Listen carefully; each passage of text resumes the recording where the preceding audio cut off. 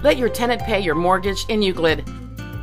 This two family home has been occupied for over 30 years.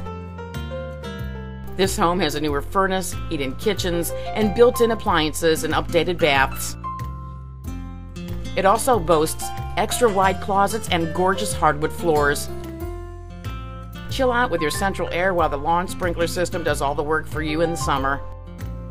Call Doxie Jelks for a private showing.